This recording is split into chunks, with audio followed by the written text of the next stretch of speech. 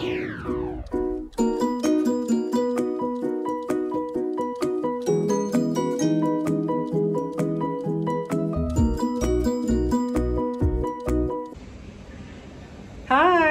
നമസ്കാരം. എന്തൊക്കെയുണ്ട് വിശേഷങ്ങൾ എല്ലാവരും സുഖം തന്നെയെന്ന് വിശ്വസിക്കുന്നു. ഞങ്ങൾ ഇവിടെ സുഖമായിരിക്കുന്നു. അപ്പോൾ ഞാൻ ഇന്ന് വന്നിരിക്കുന്നത് കഴിഞ്ഞ ദിവസം പ്രോമിസ് ചെയ്ത പോലെ തന്നെ അതായത് ഫേസ്ബുക്കിലും ഇൻസ്റ്റാഗ്രാമിലും ഞാൻ ഫോട്ടോ പോസ്റ്റ് ചെയ്തിട്ടുണ്ടായിരുന്നില്ലേ? പുട്ടിന്റെ.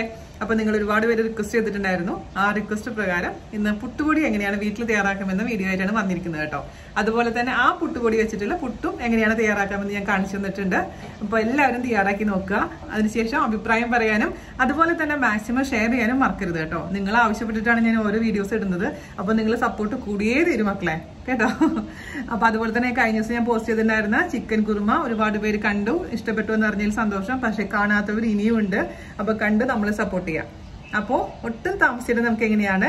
വളരെ എളുപ്പത്തിൽ വീട്ടിൽ പുട്ടുപൊടി തയ്യാറാക്കാം എന്ന് നോക്കിയിട്ട് വരാം. ഓക്കെ ഇപ്പൊ നമുക്ക് വീട്ടിൽ എങ്ങനെയാണ് പുട്ടുപൊടി വളരെ എളുപ്പത്തിൽ തയ്യാറാക്കാമെന്ന് നോക്കാം. അതിനുവേണ്ടി ഞാനിവിടെ ഒരു ഗ്ലാസ് അരി എടുത്തിട്ടുള്ളൂ കേട്ടോ. ആദ്യമായി ചെയ്യുന്നവർക്ക് വേണ്ടിയിട്ടാണ്. അപ്പോൾ ഒരു ഗ്ലാസ് അരി എടുത്തിട്ട് നിങ്ങൾ ചെയ്ത് നോക്കിയിട്ട് ഇഷ്ടപ്പെടുകയാണെന്നുണ്ടെങ്കിൽ വീണ്ടും നമുക്ക് കൂടുതൽ അരി ചെയ്യാം. സെയിം രീതിയിൽ തന്നെ ചെയ്താൽ മതി. അപ്പൊ ഞാനിവിടെ എടുത്തിരിക്കുന്നത് നല്ല ഉണക്കലരിയാണ്. അതായത് പായസം റൈസ് എന്ന് പറയുന്ന അരിയില്ലേ? ഇങ്ങനെ തിരിക്കുന്ന അരിയാണ്. അതേസമയം നിങ്ങൾക്ക് പച്ചരി വെച്ചിട്ടും അതേപോലെ തന്നെ മട്ടരി വെച്ചിട്ടും പുട്ടുപൊടി ഉണ്ടാക്കാം അപ്പൊ നമ്മൾ പലതരത്തിലുള്ള പുട്ടുപൊടി അവൈലബിൾ ആണല്ലോ. അപ്പൊ എന്താണ് നിങ്ങളുടെ കയ്യിലുള്ള അരി? അതനുസരിച്ച് പുട്ടുണ്ടാക്കാം. പക്ഷേ ബസ്മതി റൈസ് ഒന്നും വെച്ചിട്ട് പുട്ടുണ്ടാക്കാൻ പറ്റില്ല കേട്ടോ. അത് ശ്രദ്ധിക്കുക. എന്താ ചെയ്യേണ്ടതെന്ന് വെച്ച് കഴിഞ്ഞാൽ ഏത് അരിയാണെങ്കിലും നമ്മൾ ആദ്യം തന്നെ നന്നായി വാഷ് ചെയ്യുക. അതിനുശേഷം കുറച്ചധികം സമയം. ഇപ്പോൾ ഓവർനൈറ്റ് വെള്ളത്തിലിട്ട് വെക്കുകയാണെങ്കിൽ നന്നായിരിക്കും. അതല്ലെങ്കിൽ അറ്റ്ലീസ്റ്റ് നാല് മണിക്കൂറെങ്കിലും ഇത് വെള്ളത്തിലിട്ട് വെക്കണം. വെള്ളത്തിലിട്ടതിന് ശേഷം നല്ല സോ ഇങ്ങനെ നമ്മൾ കൈകൊണ്ട് ഇങ്ങനെ ഞരടി കഴിഞ്ഞാൽ പൊടിഞ്ഞു വരുന്ന രീതിയിൽ ആവുന്ന സമയത്ത് വേണം ഇത് നന്നായിട്ട് വീണ്ടും വാഷ് ചെയ്യുക. അതിനുശേഷം ഇതിന്റെ വെള്ളം വാലാൻ വേണ്ടി നമ്മൾ അരിപ്പയിലോട്ട് മാറ്റി വെക്കാം. അപ്പൊ ഞാനിപ്പോ ഇത് ഓൾറെഡി ഒരു നാല് മണിക്കൂർ വെള്ളത്തിലിട്ടിട്ടുള്ള അരിയാണിത്. ഇത് വീണ്ടും നന്നായിട്ട് വാഷ് ചെയ്തതിന് ശേഷം ഒന്ന് അരിപ്പയിലിട്ടിട്ട് ഞാൻ കൊണ്ടുവരാം. അപ്പോൾ നമ്മുടെ അരി ഞാൻ നന്നായി വാഷ് ചെയ്തിട്ട് ഒരു അരിപ്പയിലോട്ട് മാറ്റിയിട്ടുണ്ട്. ഇതിൽ വെള്ളം വരാൻ വേണ്ടി നമുക്ക് മാറ്റി വെക്കാം. അറ്റ്ലീസ്റ്റ് ഒരു മണിക്കൂറെങ്കിലും ഒന്ന് മാറ്റി വെക്കാം കേട്ടോ. അപ്പൊ നാട്ടിലൊക്കെ ആണെങ്കിൽ അഞ്ച് കിലോ അല്ലെങ്കിൽ മൂന്ന് കിലോ അങ്ങനെയൊക്കെയാണ് അരി നമ്മൾ പൊടിപ്പിക്കാൻ മില്ലിലൊക്കെ കൊടുത്തുവിടുക അപ്പോൾ ഈവനിങ് ആണ് സ്ഥിരം രാവിലെ വെള്ളത്തിലിടും. അതിനുശേഷം ഈവനിങ് ഇതുപോലെ തന്നെ ഒരു മണിക്കൂർ വെള്ളം വാലാൻ വേണ്ടി മാറ്റി വയ്ക്കും കുട്ടാട്ടൻ. അതിനുശേഷം മില്ലിൽ പോയി പൊടിപ്പിച്ചിട്ട് വരും. വൈകുന്നേരമാണ് എന്റെ വീട്ടിലൊക്കെ ഈ പുട്ടിനുള്ളതും ഇടിയപ്പത്തിനുള്ള വറവ് നടക്കുന്നത്. അപ്പം അതൊരു പ്രത്യേക എന്താ പറയുക ആലോചിക്കുമ്പോൾ തന്നെ വല്ലാത്തൊരു നൊസ്റ്റാൾജിയാണ് അമ്മയുടെ നല്ല പ്രായ നല്ല സമയത്ത് അത് ആരോഗ്യമുള്ള സമയത്തൊക്കെ സ്ഥിരമായിട്ട് നമ്മുടെ വീട്ടിൽ മില്ലിലാണ് നമ്മൾ പൊടിപ്പിക്കാറുള്ളത്. എല്ലാത്തിനുള്ള പൊടികളൊക്കെ ഇപ്പോഴാണ് പാക്കറ്റ് പൊടികളൊക്കെ വാങ്ങിക്കാൻ തുടങ്ങിയത്. അതൊക്കെ ഒരു നല്ല കാലം. ഇനി തിരിച്ചു വരില്ല. എന്തായാലും അപ്പോൾ ഒരു മണിക്കൂറിന് ശേഷം നമുക്ക് ബാക്കിയുള്ള കാര്യങ്ങൾ ചെയ്യാം കേട്ടോ.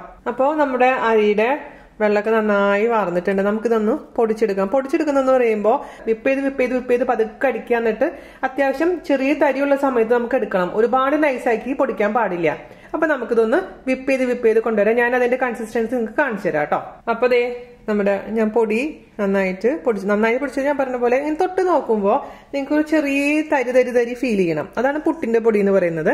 ഇത് നമുക്കൊന്ന് ലോ ടു മീഡിയം ഫ്ലെയിമിൽ ഇട്ടതിന് ശേഷം ഒന്ന് വറുത്തെടുക്കുക. ഒരു അഞ്ചാറ് മിനിറ്റോളം ഒന്ന് ഫ്രൈ റോസ്റ്റ് ചെയ്തെടുക്കുക ഈ പൊടി. അപ്പൊ നല്ലൊരു വാസന വരാൻ തുടങ്ങും. ആ സമയത്ത് നമുക്ക് മാറ്റി വെക്കാം.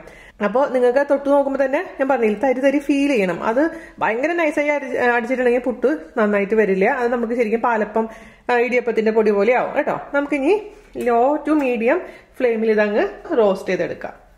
കണ്ടിന്യൂസ് ആയിട്ട് ഇളക്കി കൊടുത്തോണ്ടിരിക്കണം. അപ്പൊ ഏത് അരിയാണെങ്കിലും ഈ രീതി ചെയ്താൽ മതി കേട്ടോ. എന്തായാലും കുറച്ചധികം സമയം വെള്ളത്തിലിട്ട് വെക്കണം. എന്നാലും നന്നായിട്ട് പൊടിഞ്ഞ് കിട്ടുള്ളൂ. അഞ്ചാറ് കിലോ ഒക്കെ പൊടിക്കുന്നത് വളരെ അപൂർവമായ ഒരു കാഴ്ചയായിട്ടാണ് മാറിക്കൊണ്ടിരിക്കുന്നത്. അപ്പോൾ ഞാൻ പറഞ്ഞില്ലേ അത് അമ്മ അത് ആരോഗ്യമുള്ള സമയത്തൊക്കെ സ്ഥിരം എല്ലാ പൊടിയും വീട്ടിൽ തന്നെയാണ്. മുളക് പൊടി മല്ലിപ്പൊടി മഞ്ഞൾപ്പൊടി ഒക്കെ നമ്മൾ തന്നെ ചെയ്തുകൊണ്ടിരുന്നത്. ആ എന്ത് പറയാനാ.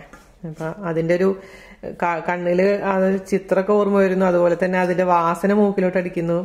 അതൊക്കെ ഒരു അത് ചൂല അതിനു വേണ്ടി സ്പെഷ്യലായിട്ട് ചൂലൊക്കെ നമ്മൾ ഉണ്ടാക്കും എന്നാൽ കുറ്റിച്ചൂലില്ലേ? അതിന് പൊടി വറക്കാൻ വേണ്ടിയിട്ട് ഇതുപോലെ ഒന്നല്ല ചൂലുകൊണ്ടാണ് അത് ചെയ്യുക കട്ട ഒഴിവാക്കാൻ വേണ്ടിയിട്ട് ചൂലുകൊണ്ടാണ് കുട്ടേട്ടൻ ലാജി ചേച്ചിയൊക്കെ പുട്ടിന് പൊടി പുട്ടിന് മാത്രമല്ല എല്ലാ പൊടിയും വറക്കുന്ന ചൂൽ വെച്ചിട്ടായിരുന്നു. അപ്പൊ അതിന് വേണ്ടിയിട്ട് ചൂൽ ഒഴിയും എനിക്ക് ഭയങ്കര ഇഷ്ടമായിരുന്നു ചൂൽ ഉണ്ടാക്കാൻ നമ്മുടെ തെങ്ങ് കയറുന്ന സമയത്ത് തെങ്ങിന്റെ ഓലയൊക്കെ തനിയെ എടുത്ത് വെട്ടിയിട്ട് വന്നിട്ട് പിന്നെ ഈ ചൂൽ കുഴിയിലെ പണി.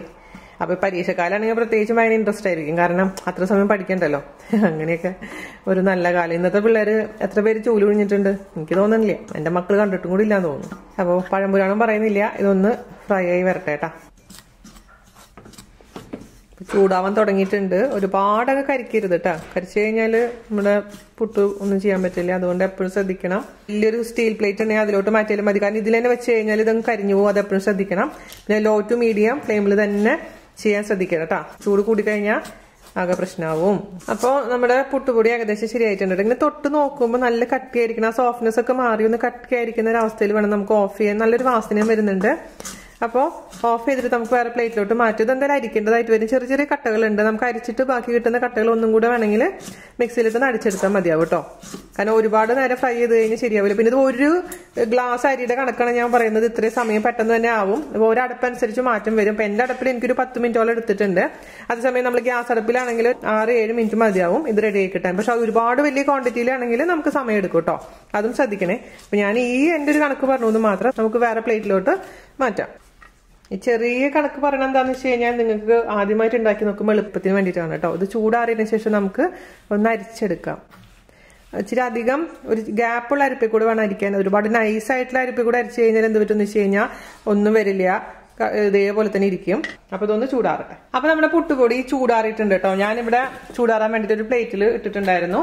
ഇപ്പൊ ഞാൻ പറഞ്ഞില്ലേ കൂടുതലുണ്ടെന്നുണ്ടെങ്കിൽ അതിനനുസരിച്ച് വലിയ പാത്രങ്ങളിലോട്ട് മാറ്റുക അല്ലെങ്കിൽ കിച്ചൺ ഡിഷിലോട്ട് മാറ്റുക. നല്ലോണം ചൂടാറാൻ വേണ്ടിയിട്ട് മാറ്റി വെക്കുക. അപ്പൊ ഇതിൽ ഞാൻ പറഞ്ഞില്ലേ കുറച്ച് കുറച്ച് ചെറിയ ചെറിയ കട്ടകളുണ്ട് നമുക്ക് ഒഴിവാക്കാൻ വേണ്ടിയിട്ട് ഒന്ന് അരിച്ചെടുക്കുക. എന്റെ നോർമലായിട്ട് ഇപ്പൊ നാട്ടിൽ കിട്ടുന്ന പോലുള്ള വലിയ അരിപ്പൊന്നും ഇല്ല. ഞാനിവിടെ ഈ അരിപ്പിലാണ് അരിക്കാൻ പോകുന്നത്. കുറച്ച് ചെറിയൊരു എമൗണ്ട് ഇല്ല നമ്മുടെ അടുത്തുള്ളൂ. അപ്പൊ ഇതിലൊന്ന് അരിക്കാം. എന്നിട്ട് കിട്ടുന്ന കട്ട നമുക്കൊന്ന് മിക്സിയിലിട്ടൊന്ന് അടിച്ചെടുക്കാം കേട്ടോ. അരിക്കാം പിന്നെ നമ്മുടെ ഉപയോഗിക്കുന്ന ഏത് അരിയാണ് അതിനനുസരിച്ച് അതിന്റെ ടേസ്റ്റിലും ടെക്സ്ചറിലൊക്കെ മാറ്റം വരും.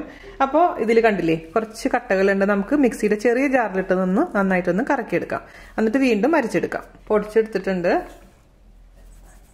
ചെറിയ ചെറിയതായിട്ട് നമുക്ക് ഭയങ്കര നൈസായിട്ട് ഒരിക്കലും തോന്നരുത്. നമ്മളിങ്ങനെ കൈകൊണ്ട് ഇങ്ങനെ ഇതാക്കുമ്പോൾ ചെറിയ മണൽ പരുവെന്ന് നമ്മൾ പറയില്ലേ? അതേപോലെ ആയിരിക്കണം. എന്നാലാണ് നമ്മൾ ഉദ്ദേശിക്കുന്ന ടേസ്റ്റ് നല്ല ടെക്സ്ചറും നമ്മളെ പുട്ടിന് കിട്ടുള്ളൂ. മറ്റേതെന്ന് പറയുന്നത് ഭയങ്കരമായിട്ട് നൈസ് ആയിട്ടുണ്ടെങ്കിൽ നമ്മൾ ഞാൻ നേരത്തെ പറഞ്ഞ പോലെ തന്നെ ഇടിയപ്പത്തിനൊക്കെ ഉപയോഗിക്കുന്ന അരിയാണ് വളരെ നൈസ് ആയിട്ട് നമ്മൾ പൊടിച്ചെടുക്കുക. ഇത് ചെറിയ തരിയുള്ളതാണ് പുട്ടിന്റെ പൊടി എന്ന് പറയുന്നത്. അപ്പൊ ഇത്രയുള്ള പരിപാടി. അപ്പോൾ നമ്മൾ ഉണ്ടാക്കിയതിന് ശേഷം എപ്പോഴും ചൂടാറാൻ വേണ്ടിയിട്ട് മാറ്റി വെക്കണം. ചൂടോടുകൂടി ഒരിക്കലും സൂക്ഷിക്കാൻ പാടില്ല. ഇപ്പോൾ ടൈറ്റ് ആയിട്ടുള്ള ഒരു കണ്ടെയ്നറിൽ ഇട്ട് വെക്കാം. അല്ലെങ്കിൽ സിബ്ലോ കവറിൽ ഇട്ട് സൂക്ഷിക്കാം. അപ്പോൾ നമ്മൾ വീട്ടിലുണ്ടാക്കുന്ന പൊടി ഒരു ആറ് മാസം വരെ എന്തായാലും ഇരിക്കും. അപ്പൊ നിങ്ങൾക്ക് പുറത്ത് വെക്കാൻ പേടിയാണെന്നുണ്ടെങ്കിൽ തീർച്ചയായിട്ടും ഫ്രിഡ്ജിൽ വെക്കാം. അത് എപ്പോഴും ടൈറ്റ് ആയിട്ട് വെക്കണമെന്ന് മാത്രമേ ഉള്ളൂ. കഴിയുമ്പോൾ ആവശ്യമുള്ള സമയത്ത് ഇതേപോലെ തന്നെ ഉണ്ടാക്കി വെക്കാം കേട്ടോ. അപ്പൊ നമുക്കിനി പുട്ട് എങ്ങനെ തയ്യാറാക്കാമെന്ന് നോക്കാം. അപ്പൊ മറ്റേ നമ്മുടെ പൊൻകതിർ പുട്ടുപൊടിയിൽ പറഞ്ഞ പോലെ ഒരു ഗ്ലാസ് കൂട്ടുപൊടിക്ക് ഒരു ഗ്ലാസ് വെള്ളം ഒന്നും നമ്മുടെ കൂട്ടുപൊടിക്ക് പറയാൻ പറ്റില്ല. നമ്മൾ അത് ഒഴിച്ച് ഒഴിച്ച് തന്നെ നോക്കിയേ പറ്റുള്ളൂ. കാരണം ഓരോ അരി അനുസരിച്ച് മാറ്റം വരും. അതുകൊണ്ട് ഞാൻ കഴിഞ്ഞ പ്രാവശ്യം അങ്ങനെ ചെയ്ത് നോക്കിയപ്പോൾ എനിക്ക് എന്റെ കൊളായി പോയി പുട്ട്. ഒരു ഗ്ലാസ് പുട്ടുപൊടിക്ക് ഒരു ഗ്ലാസ് വെള്ളം ഒഴിച്ചപ്പോൾ ആകെ വെള്ളം പോലെയായി. അതുകൊണ്ട് അത് നമുക്ക് പറ്റില്ല. നമ്മുടെ പുട്ടുപൊടിക്ക് എത്ര വെള്ളമെന്ന് ഞാൻ പറഞ്ഞുതരാം. ഓക്കെ? അപ്പൊ നമുക്ക് ഇനി പുട്ടുണ്ടാക്കാൻ തുടങ്ങാം. ഞാനിവിടെ അര ഗ്ലാസ് പുട്ടുപൊടി ഉപയോഗിക്കുന്നുള്ളൂ കേട്ടോ. ചെറിയ അളവിലല്ലേ കാണിക്കേണ്ട ആവശ്യമുള്ളൂ. ബാക്കിയുള്ളത് ഞാനൊരു സിബ്ലോ കവറിൽ ഇട്ടിട്ട് അടച്ച് വെക്കാൻ പോവുകയാണേ. നമ്മൾ സ്വന്തം പുട്ടുകൂടി ഉണ്ടാക്കിയിട്ട് പുട്ടുണ്ടാക്കുമ്പോൾ ഒരു പ്രത്യേക ഒരു ഒരു ഒരു അഭിമാനമല്ലേ അല്ലേ? ഒരു പാത്രം എടുക്കുക. അതിലോട്ട് നമുക്കൊരു മൂന്ന് ടേബിൾ സ്പൂൺ. ഞാൻ അത്യാവശ്യം നന്നായിട്ട് തേങ്ങ ഇടുന്ന കൂട്ടത്തിലാണ് കേട്ടോ. തേങ്ങ ചെറുകിയത് ഇട്ട് കൊടുക്കുക. അതിലോട്ട് നമുക്ക് അല്പം ഉപ്പ് ചേർത്ത് കൊടുക്കാം. നന്നായിട്ടത് മിക്സ് ചെയ്യാം. അതിനുശേഷം നമ്മുടെ പൊടി നമുക്ക് അതിലേക്ക് ഇട്ട് കൊടുക്കാം. നന്നായിട്ട് തിരുമ്മി പിടിപ്പിക്കുക. അമ്മ പറയും പുട്ടുപൊടിനേക്കാളും കൂടുതൽ തേങ്ങയാന്ന് പറയും. അപ്പോൾ ഇങ്ങനെ ഇരിക്കുന്നുണ്ട് നമ്മുടെ പുട്ടുപൊടി. ഇനി ഇതിലോട്ട് അല്പം വെള്ളം ഒഴിച്ചിട്ട് നമുക്ക് മിക്സ് ചെയ്തെടുക്കാം. വെള്ളത്തിന്റെ അളവ് ഞാൻ പറഞ്ഞുതരാം. പിന്നെ ഓരോ അരിപ്പൊടി അനുസരിച്ചും നമ്മൾ ചേർക്കുന്ന വെള്ളത്തിന്റെ അളവിൽ വ്യത്യാസം വരും. ഇപ്പൊ ഞാൻ ഇതിൽ ഇത്ര വെള്ളം ചേർത്തു എന്ന് വിചാരിച്ചിട്ട് ചിലപ്പോൾ നിങ്ങൾക്ക് അതായിരിക്കില്ല വെള്ളത്തിന്റെ അളവ്. ഞാനിവിടെ അര ഗ്ലാസ് വെള്ളം എടുത്തിട്ടുണ്ട്. എപ്പോഴും നോർമൽ വെള്ളം എടുക്കണം. നോർമൽ ടെമ്പറേച്ചറിലുള്ള വെള്ളം. അര ഗ്ലാസ് വെള്ളം ഇവിടെ അളന്ന് വെച്ചിട്ടുണ്ട്. അതിൽ നിന്ന് കുറച്ച് കുറച്ചായിട്ട് നമുക്ക് ഒഴിച്ചു കൊടുക്കാം.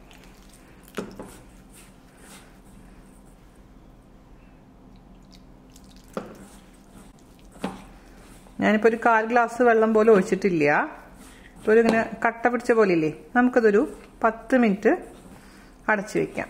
നിങ്ങൾക്ക് കാണുമ്പോൾ പേടിക്കരുത് കേട്ടോ അയ്യോ ഇത് എന്താ കട്ട കുത്തി പോയി എന്നുള്ള പേടിയൊന്നും വേണ്ട. നമുക്ക് ശരിയാക്കി എടുക്കാം. ഓക്കെ? അപ്പോൾ ഇതിന്റെ ഉപ്പൊന്ന് ടേസ്റ്റ് ചെയ്യണം. ഒരുപാട് ഉപ്പ് കൂടാൻ പാടില്ല. അതേസമയം ഉപ്പ് ഇച്ചിരി വേണം എന്താനും എന്നിട്ട് നമുക്കൊരു പത്ത് മിനിറ്റിന് ശേഷം നോക്കാം. അടച്ചു വെക്കണേ. പത്ത് മിനിറ്റ് കഴിഞ്ഞ് പുട്ടിന്റെ പൊടി എന്ന് പറയുമ്പോൾ ഇച്ചിരി കട്ടിയായിട്ടുണ്ടാവും. മുകളിൽ ഇങ്ങനെ ഞാൻ പറഞ്ഞില്ലേ. അപ്പോൾ അത് കൈ വെച്ചിട്ട് ഇങ്ങനെ ഒന്ന് ഞരടി കൊടുത്താൽ മതി. അപ്പോൾ കട്ടകളൊക്കെ ഉടഞ്ഞു കിട്ടിക്കോളും. അല്ലെങ്കിൽ മിക്സിയിലിട്ട് ജസ്റ്റ് ഒരു കറക്ക് കറക്കുക എന്തായാലും കുഴപ്പമില്ല. അപ്പോൾ സോഫ്റ്റ് ആയിക്കോളൂ കേട്ടോ പിന്നെ മിക്സി കഴുകാനൊക്കെ നിൽക്കണം എന്നുള്ള മടി കാരണം ഞാൻ ചെയ്യുന്നില്ല എന്നുള്ളൂ. അപ്പോൾ ദേ കൈ കൊണ്ട് ഞാൻ ഇതാക്കി കൊടുത്തപ്പോൾ തന്നെ എല്ലാ കട്ടകളും ഒഴിവാക്കി കിട്ടിയിട്ടുണ്ട്. ഇനി നമുക്ക് പുട്ടുണ്ടാക്കാൻ തുടങ്ങാം. പുട്ട് ഞാൻ ഇതേപോലത്തെ മോൾഡിലാണ് ഉണ്ടാക്കുന്നത്. മറ്റേ വലിയ കുറ്റിയാണെങ്കിലും എങ്ങനെയാണെങ്കിലും നിങ്ങളുടെ കയ്യിലുള്ള എന്താണ് അതനുസരിച്ച് ചെയ്തോളൂ. തേങ്ങ ഇട്ട് കൊടുക്കുക. എന്റെ കയ്യിൽ ചില്ലില്ല കേട്ടോ. ചില്ലില്ലാണ്ട് ഞാൻ ഉണ്ടാക്കാറുണ്ട്. സിനിമയിലൊക്കെ പറയണ പോലെ ചില്ലില്ലാതെ പുട്ടുണ്ടാക്കാൻ പറ്റില്ല എന്നൊക്കെ പറയാം. പക്ഷെ ഞാനിവിടെ പുട്ടുണ്ടാക്കുന്നുണ്ട്. ഇതിന്റെ ഉള്ളിൽ നല്ലോണം തേങ്ങ ഇട്ട് കൊടുക്കുക. എന്നിട്ട് അതിലോട്ട് നമ്മുടെ പുട്ടുപൊടി നനച്ച പുട്ടുപൊടി ഇട്ട് കൊടുക്കുക. ഒരിക്കലും പുട്ട് പ്രസ് ചെയ്യരുത്. ഭയങ്കര ഒരുമിച്ച് കൂടുതൽ കിട്ടാൻ വേണ്ടിയിട്ട് ഇങ്ങനെ ഇങ്ങനെ പ്രസ് ചെയ്ത് കൊടുക്കരുത്. ഞാൻ എപ്പോഴും പറയാറുള്ള ഒരു കാര്യമാണ്. കാരണം അങ്ങനെ ചെയ്ത് കഴിഞ്ഞാൽ നമ്മുടെ പുട്ട് ഹാർഡായിട്ട് മാറും. ആ കൺസിസ്റ്റൻസി നഷ്ടപ്പെടും. അതുകൊണ്ട് ഇങ്ങനെ മാത്രമേ ഇടാൻ പാടുള്ളൂ. ഒരു ഈ പുട്ടുപൊടി നനയ്ക്കുന്ന സമയത്ത് ഒരു- നുള്ളു പഞ്ചസാരയും കൂടി ഇട്ട് നനയ്ക്കുകയാണെങ്കിൽ സൂപ്പറായിരിക്കും പക്ഷെ വേണ്ട. എന്നും പഞ്ചസാര ഒന്നും ഇടുന്നില്ല. അപ്പോൾ ഇങ്ങനെ ആക്കി കൊടുത്തിട്ടുണ്ട്. നമുക്കിനി കുക്കറിന്റെ മുകളിൽ വെച്ചിട്ട് ഒരു അഞ്ച് മിനിറ്റോളം ആവി കയറ്റാം. ബാക്കിയുള്ള പുട്ടുപൊടി അടച്ചു വെക്കാൻ മറക്കരുത്. അല്ലെങ്കിൽ ഭയങ്കരമായിട്ട് ഡ്രൈ ആയിട്ട് മാറും. ഒരു ഗ്ലാസ് പുട്ടുപൊടിയിൽ നിന്ന് ഒന്നര പുട്ടാണ് എന്റെ പുട്ടിന്റെ അളവ് കേട്ടോ. അപ്പോൾ ഒരു ഗ്ലാസ്സിൽ നിന്ന് മൂന്ന് പുട്ട് കിട്ടും. ആവി വരാൻ തുടങ്ങിയിട്ടുണ്ട്. വെച്ച് കൊടുക്കും. അപ്പോൾ ഇത് ഈ ഹോളിൽ കൂടെ ഒക്കെ ആവി വരണം. ഒരു അഞ്ച് മിനിറ്റ് എടുക്കും പുട്ട് റെഡി ആയി കിട്ടാം. കേട്ടോ ഹൈ ഫ്ലെയിമിലാണ് ഞാൻ തീ വെച്ചിരിക്കുന്നത്. അഞ്ച് മിനിറ്റ് കഴിഞ്ഞിട്ടുണ്ട് കേട്ടോ. നമുക്ക് പതുക്കെ തുറക്ക തുറക്കുന്ന സമയത്ത് കൈ പൊള്ളാൻ ചാൻസ് ഉണ്ട് അതുകൊണ്ട് എപ്പോഴും ഒരു ചെറിയ ടർക്കി വെച്ചിട്ട് എന്തെങ്കിലും തുറന്നാൽ മതി. അല്ലെങ്കിൽ ഇതിങ്ങനെ പുറത്തേക്ക് എടുത്തതിന് ശേഷം തുറക്കുക കേട്ടോ. അല്ലെങ്കിൽ വെച്ചാൽ പണി കിട്ടും. എനിക്ക് പണ്ട് സ്ഥിരം പണി കിട്ടിക്കൊണ്ടിരുന്നതാണ് പുട്ട് എടുക്കുന്ന സമയത്ത് കൈ പൊള്ളുന്ന പരിപാടി. അപ്പം ഇങ്ങനെ എടുത്ത് നോക്കുക. എന്നിട്ട് ഇതിന് മേലെ കൂടെ ഒന്ന് തൊട്ട് നോക്കുക.